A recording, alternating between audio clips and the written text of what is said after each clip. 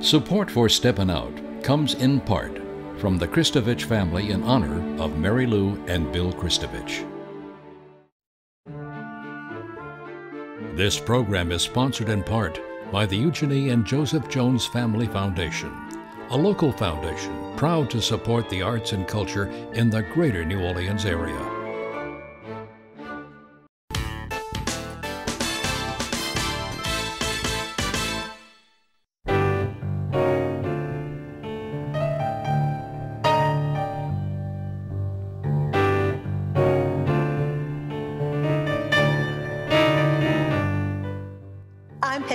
Laborde, and welcome to Stepping Out with the latest news on the restaurant, arts, and entertainment scene. We are teleconferencing from various locations in New Orleans, and we have with us Poppy Tooker and Ian McNulty. A little later, we'll have Alan Smason and a very special feature about the restaurant scene. But first up, Poppy, I guess takeout's the only way to go for many New Orleans restaurants. Yes, takeout is the only way to go for New Orleans restaurants right now for those who have chosen to do it. And a lot have stuck their toe in the water and then decided takeout wasn't for them, like Commander's Palace, for instance. But very interestingly, Rouse's has jumped into this scene and they're selling takeout food from some of our favorite restaurants like turtle soup from Commanders and hummus from Saba. Susan Spicer was in the kitchen at Rosedale when I talked to her the other day, cooking up some delicious things herself that were going to Rouse's. And this week, Galatoire's has now jumped on board with their shrimp remoulade. So goodness knows what you can get at Rouse's these days. But Toups are the crew at Toups. I have incredible admiration for Isaac and Amanda. Before this terrible stuff really got rolling, they had already reached out to their friends in the hospitality community, letting everybody know that they were welcome to join in their staff meal that happens every day at three o'clock.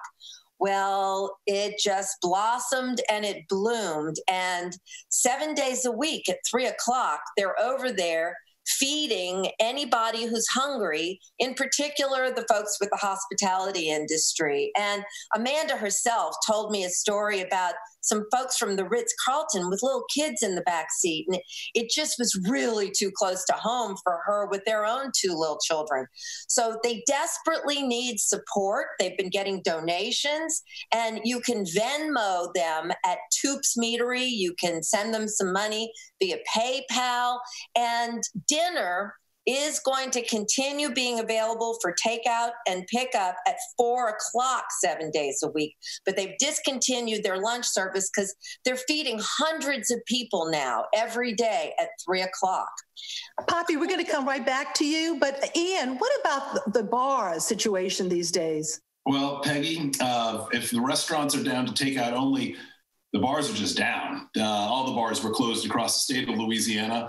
And that means um, there's really zero option for them to serve their guests and to keep anybody working at all. So all bar staff is, is out of work. Uh, unfortunately, in the very much the same boat as a lot of restaurant and hotel staff. But leave it to New Orleans. People have been getting pretty creative about keeping in touch with each other and even supporting uh, their favorite bars and bartenders. Now, let's remember okay, this is New Orleans, right? We're, we're a restaurant town, we're a hospitality town, we're a social town. Bars, those little corner joints, those special places you go to across town, they have this role in our lives, right? I mean, it, they're part of the social fabric of New Orleans. And one way that people have been reconnecting with them is online. Uh, Daniel Victory, he runs Victory uh, Victory Bar down on Baronne Street in the CBD. He and his business partner have been pretty creative. They've been hosting a happy hour where it's just Daniel behind the bar mixing cocktails, uh, while Camille Whitworth, his business partner, tapes it on, on camera, and they distribute this off with a DJ playing at a remote location, much like we're doing here. It's part cocktail class, part social time, uh, really creative. And of course, you know, you're encouraged to tip, tip, tip the apps, and that goes to their staff. Others around town doing a similar thing. I talked to the folks at the Milan Lounge, that great uptown place there uh, on the street that nobody pronounces Milan anywhere in New Orleans. Milan, Milan, in New Orleans. That's right. Uh, you know, and regulars are missing each other. They're missing their favorite bartenders, so they're getting in touch on a Facebook group and you know chatting with one another, teasing each other, just doing the stuff you normally do at a bar. Finn McCool's Irish Pub in Mid City has probably taken it to the to the highest level. Uh, you know, it's a pub, it's an Irish pub, it's a community center for the people who are regulars there. I've been known to darken the door a time or two, I'll admit. Uh, they started a group on Facebook where you see regulars doing all the things that they would be doing if they were at the bar. They're posting pictures from the past as if they're telling old stories about hijinks and highlights that they've had before. They're teasing each other. But most importantly, they're supporting the bartenders by sending them tips online through a Venmo account, through um, different ways that the bars have to connect with folks. And you know, they're they're in a way when they're having a drink at home, they're giving a tip to their bartenders. And anybody can do this. Any bar that you can think of, they probably have a bartender with uh, their Venmo number available.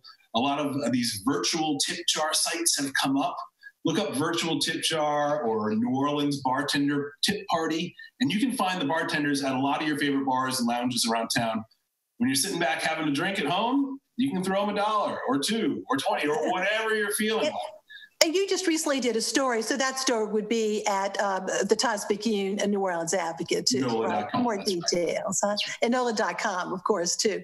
Poppy, back to you about fish fries. We, we've Yeah. still got them. That's a real New Orleans tradition, but it's really helping folks extra this, these days. Huh? You just can't stop those Lenten Friday fish fries. And this all started three weeks ago or so. Craig Borges, who his business is the New Orleans Seafood Company, and Drew Knoll, his partner, they had all this fish and they had nothing to do with it. And so they actually reached out to other restaurateurs. And so most recently, Station Six, Pêche, Luke, um, they have all been offering $15 grilled or fried with a side. Ralph's on the park. And by the way, they're also running an incredible deal 75% off bottles of wine. I mean, that's hmm. an incredible deal. And the most incredible, this is New Orleans, you know? So, of course, Monsignor Nalty is going from location to location blessing the whole affair. And so, you know, you got the blessing, you're safe to go get the fish fry. And I hope everybody will. This will continue through next Friday for sure. And I heard that Galatoire's and Ralph's on the Park for next Friday, Good Friday, are definitely in. And now let's look at the way some of New Orleans' top chefs are coping with the coronavirus crisis. Before all this started, I was the executive chef of Belle Epoque on Bourbon and Bienville in the French Quarter. It was weird. Friday was fine. I mean, we were hearing about things starting to happen. Saturday was the day they closed us at 9 p.m. and then they, they tried to clear the French Quarter. Sunday was when it was really thin and you could tell it, things were changing, you know. And we got the word, I think, by like three that we were gonna have to close very early.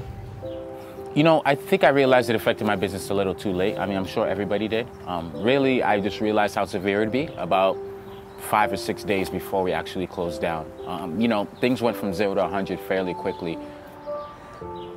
Our sales dropped, you know, 70 to 80 percent on the first, second day. I mean, by that, by Sat Friday, probably dropped about 90 percent, which is extremely severe. I wasn't sure if we're gonna close, um, you know, until about 24 hours before we did. yesterday, um, we really shut everything down. The thing that pains you the most are the men and women that I work with every day. And to go through this, it happened fast, but the fact that we furloughed or, you know, people are laid off, I've never done that in my life. It pains me that I said goodbye to all these people because it's hard for us to stay connected. We all need to quarantine or whatever, but we are stronger together than not. So we're going to stick together. This has been one of the hardest weeks that Emily and I have ever had in our entire lives. Uh, last Monday, you know, we had we people weren't allowed to come into restaurants anymore, and we had to, unfortunately, uh, you know, put a, several of our most of our team members on furlough, and uh, really quickly we just kind of geared up to begin doing takeout and delivery. Starting tomorrow, we're, we're going to be feeding uh, doctors and nurses in, in emergency rooms with Ochsner because we're all going through the same emotions, but we also know that in times like this, people need food, and this is what we do. And uh, yeah. that, I think, for Emily and I, brings us a sense of accomplishment in the middle of in the middle of all of this that we can actually do something that makes people feel good. My wife, who's an ER doctor, would come home from work and tell me about work. And one day she said, um, a nurse had brought cookies to share for everybody in the ER that night. And it was like a game changer morale booster for them. The idea hit me, oh, I know a bunch of restaurant owners and I know that they're struggling and I know the hospital workers need really good food to boost their morale right now, so let's just connect the dot. And I placed a $60 order of food sent a little email to my crew members and put it on Instagram and asked for donations so that we could order more food. And um, the first day, $500 came in from my crew members. Um, the second day, $1,500 came in. The third day, it was $3,000. So yesterday, we made about 30 deliveries to 14 different locations in New Orleans, which is covering almost every ER and ICU. You know, in times like this, I think it's incumbent upon ourselves to do whatever we can.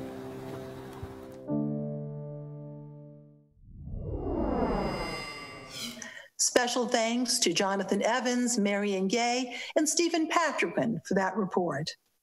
And now it's time to visit with Alan Smason. Alan? Well, Peggy, we are back again reporting on what's going on in theater, which is not a lot, but uh, we are letting everybody know that we did talk to David Skinner, who is the general manager of the Saenger. Now, the Saenger, of course, has closed down shop for the foreseeable future. I did want to ask him a couple of questions, though, specifically about what's going on not only with the Saenger season, but also with the Hard Rock Hotel demolition, which has been again in the news. So, first off, of course, because of the direction from the uh, governor, uh, no gatherings of 250 people or more are allowed. Uh, the Saenger productions are postponed uh, for the foreseeable future. At the time, right now, that they are working, they're trying to reschedule several of these uh, national tours, and also, of course, uh, they're going to let people know via social media, also emails and websites. They'll contact anybody who's a subscriber directly, but they will be monitoring the situation. Hopefully, the Saenger, uh, which is which uh, our glorious uh, theater here in New Orleans, which is again larger than any Broadway theater, uh, is going to hopefully be open soon. We don't know when, but we hope soon. Now, as far as the demolition of the Hard Rock, uh, they said they're not part of that decision process. Uh, David said that. The uh, Saenger, of course, has been an icon, a staple of the city since 1927 and uh, again been through so much uh, being uh, restored. And of course after katrina uh, you know having a, a, a big uh, restoration project that uh, saw it finally opening again. Um, as he said the Saenger will always be a part of new orleans. And like all new orleanians would like to see it back as soon as possible. But they have no way of saying right now what the impact of the demolition will be on their future business and, and basically their model as far as right now is just close now, as far as um, theater in New Orleans, yes, the uh, brick and mortar places are closed, but that does not mean the internet is not open to all of our theater folk. Uh, they have a group called No Pants Shakespeare, and I believe that Augustin Correro of the Tennessee Williams Theater Festival is credited with the title. But they have a, a bunch of people who are performing, and as a matter of fact, they're performing uh, at the time that we're broadcasting this for the first time uh, opposite us but they're going to be rebroadcasting it. So I want everybody to pay attention. Go to YouTube and look up No Pants Shakespeare. If you missed the Friday evening broadcast, this is going to be starring uh, Big Easy Award winners uh, James Bartelle, Trina Beck, James Yergin, Keith Claverie, Leslie Claverie, and a, a number of other people, 13 cast people, doing a Zoom in which they all will be partaking in Shakespeare's As You Like It. And I like that a lot. I think it's wonderful that they're, they're being so creative in. Uh, uh, what would normally be a, a very uh, depressing kind of situation. So they're moving onward and upward and involving people, and again, getting other people who are interested in theater to tune in to them on YouTube. Again, that's No Pants Shakespeare. Now, speaking of the Big Easy Awards, they were supposed to have their big celebration coming up uh, this week at the Higgins Hotel. Uh, those of you who uh, were planning on going, of course, know it's been postponed. They're going to try to do it again later in the summer. But I, I will tell you that for the first time, the Big Easy Awards were going to be uh, dealing with all the music, the classical arts, the theater, uh, as well as dance. It was going to be a, a, whole new kind of model for the Big Easy Awards. They're still planning on doing that, and hopefully going to be still doing it at the Higgins Hotel. But uh, for right now, I did, you know, did want to say that that uh, this is going to be a whole new format, and it's going to be more of a friendly kind of a concert. Uh, kind of atmosphere rather than the long award show like an Academy Awards presentation that we've seen in the past. Now, how to spend your time, you know, with the kids, with the spouse. You know, uh, what are you going to do to keep busy if you love theater and you can't go out to see the theater? Well, one of the things I really want to uh, talk about is Broadway HD. This uh, is a pay per view kind of situation. They actually ask you to pay by the month uh, or by the year. I believe it's a, about $9 uh, a month or around $100 for a year subscription. But they have a compendium of works. Uh, unbelievable. They've got uh, uh, almost 70 different Broadway musicals. Uh, they've got a host of things like Shakespeare, and it's unlimited in terms of, of what you can see. Now, last week I was able to see Oklahoma with Hugh Jackman in all its glory for free. So keep in mind to go back and forth, even if you're not subscribing to Broadway HD. Uh, you can see some free shows sometimes, even if you're not a subscriber. But keep in mind, they do give a one week subscription for free. You can test drive it, check it out. BroadwayHD.com. I think you're going to enjoy all that they have there. They've got some wonderful historic films as well as some incredible shows. Bette Midler's Gypsy, uh, the original cast of Sweeney Todd with uh, Angela Lansbury. Uh, you will uh, be very interested to see what they have on store for you as well. So that's pretty much all we have right now to talk about because, uh, again, uh, the theaters are shuttered. But uh, as of right now, you know, we're keeping, uh, you know, our eyes open and our ears glued to find out what's going on in the world. We do appreciate uh, your being patient with us, and we're going to continue to keep giving you the information you need. That's it for now. And now for our nostalgic New Orleans vignette Paul Prudhomme. Louisiana legend. Cajun sensation chef Paul Prudhomme helped ignite a revolution in American gastronomy in the 1980s when he introduced the regional cuisine of Louisiana to the world. Born in 1940 to Eli and Hazel Prudhomme in Opelousas, Louisiana, Paul was the youngest of the tenant farmer's 13 children and, from a young age, helped prepare family meals on a wood fire stove. As a young man, Paul headed west and worked in a variety of commercial kitchens for 12 years before returning to Louisiana. In 1975, he was hired as the first American born chef of Commander's Palace, the venerable Garden District restaurant owned by Ella Brennan and her family. Out of the push and pull between Cajun cooking and the refined Creole cuisine of commanders, magic was made. Chef Paul opened K. Paul's Louisiana Kitchen in 1979 with Kay Hinrichs, his future wife. This French Quarter establishment became one of the hottest restaurants in the nation. Diners stood in line to sample the intricately seasoned dishes at the funky culinary mecca. During his career, the ambassador of Cajun cuisine fed heads of state, launched a popular line of seasoning blends, and starred in five national public television cooking series taped at WYES TV in New Orleans. Named a pioneer of American cuisine by the Culinary Institute of America, Chef Paul remained a trailblazer throughout his life. New Orleans bid farewell to the culinary legend following his passing on October 8, 2015, paying tribute to the chef from humble roots who redefined American cuisine. And now, time for our picks of the week. First up, Poppy. Looking to get some fresh food in the house? The Crescent City Farmers Market is offering a $40 produce box delivered right to your door. Different treats. They're doing it twice a week. Just go to crescentcityfarmersmarket.com to find out more about it. And don't miss Louisiana Eats continuing COVID 19 coverage every weekend. All right. And next for you, Ian. Poppy, check out feedthefrontline.org. This is a new program, grassroots, from the founder of the Krewe of Red Beans, one of the wonderful carnival marching groups. Here's what they're doing they're feeding frontline healthcare workers in the hospitals, the doctors and nurses, and at the same time, supporting restaurants. They're spending thousands of dollars a day at these restaurants, really helping some of them keep their kitchens running, keeping a few people employed at the same time feeding these doctors and nurses and actually employing local musicians to deliver the food. So it's a fantastic program. They're spending a lot of money at these local restaurants, feeding a lot of people. They need your help. Feedthefrontline.org. Thank you both so very much. And my pick is 7-3 Distillery is making hand sanitizer and offering a free four ounce bottle with the purchase of a bottle of spirits. They're located at 301 North Claiborne Avenue. That's right there at Bienville, 73distilling.com. They're also uh, selling the sanitizer um, actually from uh, Britannia Liquor, and Langenstein's, as well as from the distillery itself. Part of the proceeds go to help unemployed service industry workers. And now it's time to hear Alan Smason's pick of the week. So, for my pick, Peggy, I'd like to let everybody know that the National Yiddish Folksbiene Theater is having some wonderful shows. Basically, uh, they are broadcasting uh, via Zoom.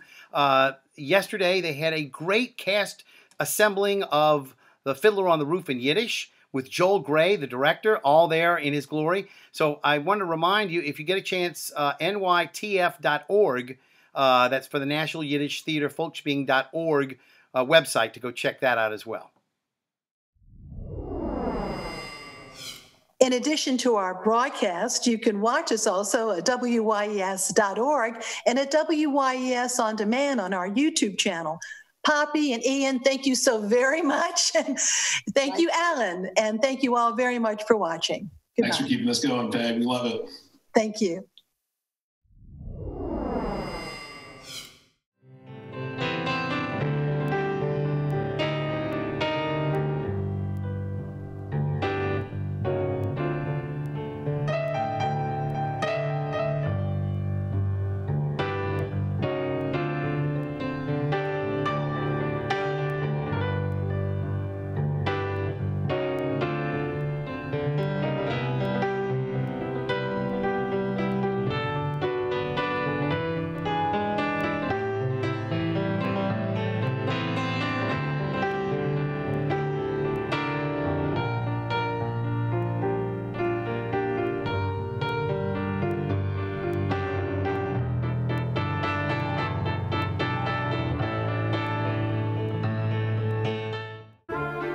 This program is sponsored in part by the Eugenie and Joseph Jones Family Foundation, a local foundation proud to support the arts and culture in the greater New Orleans area. Support for Steppin' Out comes in part from the Kristovich family in honor of Mary Lou and Bill Kristovich.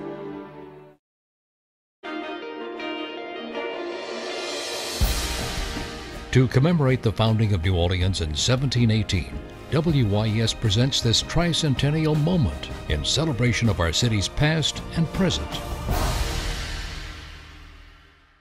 In this digital age, with hundreds of television channels and viewing options, it's hard to imagine New Orleans with only one TV station. But when WDSU signed on the air on December 18, 1948, it was the city's first station, and for nearly a decade it was the only one in town. Channel 6 was founded by Edgar Stern and his family, whose personal wealth built the station into a powerhouse. Its first studios were in the Hibernia Bank building before moving to the French Quarter in 1950. In those early days, programming was sparse. The test pattern was a popular sight.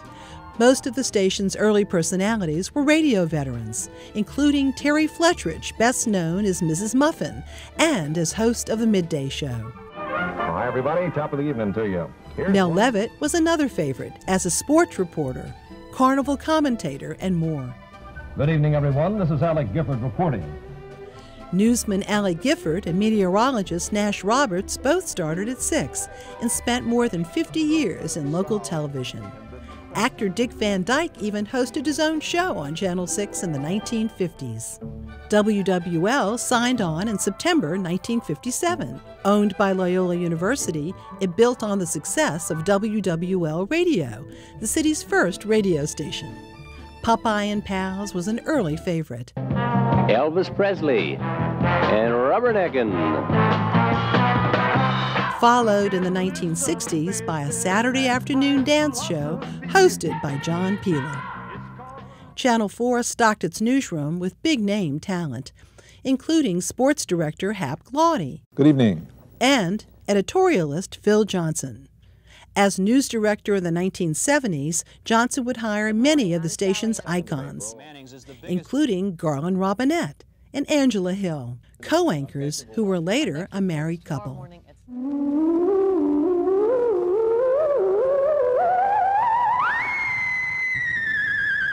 Channel 4 also gave us Dr. Momus Alexander Morgus, whose magnificent science experiments appeared in between segments of horror movies.